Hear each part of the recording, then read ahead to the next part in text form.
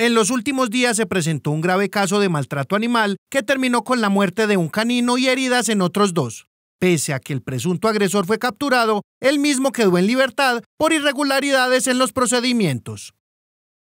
En días anteriores se presentó un caso de extrema crueldad en el municipio de Urrao que todo el mundo ya ha conocido,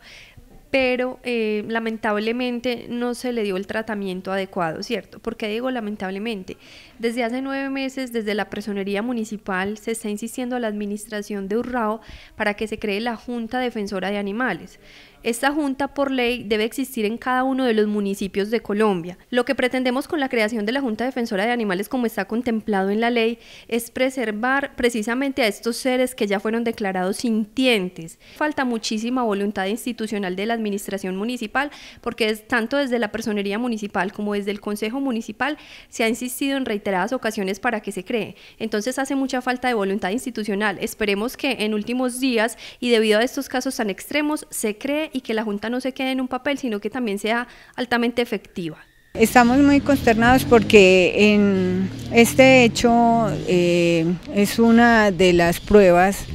de lo importante que es tener el policía ambiental en el municipio, porque si hubiésemos contado con el policía ambiental en ese momento, eh, ya que él es el que está capacitado, conoce toda la normatividad frente al maltrato animal y sabe eh, cuál es el procedimiento, eh, no logramos que se dieran y se cumpliera a tiempo con las pruebas y por eso este tipo quedó en libertad. La desarticulación institucional hace que estos casos, además de la gravedad que ya implican, queden impunes o sea muy difícil hacer que los responsables sean juzgados y los animales atendidos se cuenta desde el año 2020 con la creación de la Junta Defensora y Protectora de Animales a través del decreto 137 de 2020 para determinar en conjunto con la mesa ambiental una ruta de trabajo, ya sea de modificación, ajuste, implementación de actividades en pro de la protección de los derechos de los, de los eh, animales. Es importante y cabe aclarar que desde la Policía Nacional pues, se atendió el caso, se atendió toda la novedad,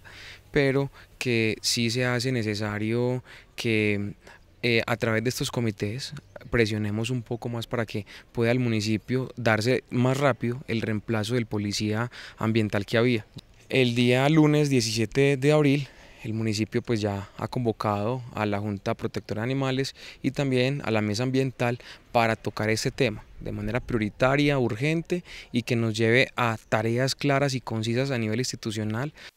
El llamado desde los sectores civiles es no dar más largas a la conformación de la Junta de Protección Animal y un real compromiso de la Administración con el bienestar de los animales, pues tan solo en el albergue se encuentran más de 120 perros en precarias condiciones.